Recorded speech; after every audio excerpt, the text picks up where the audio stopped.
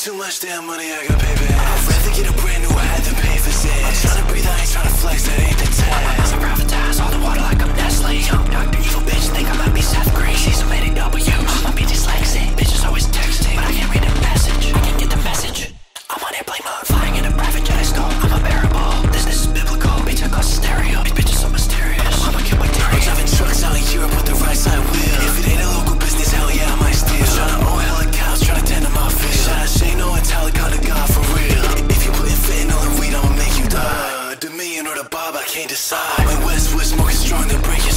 so high.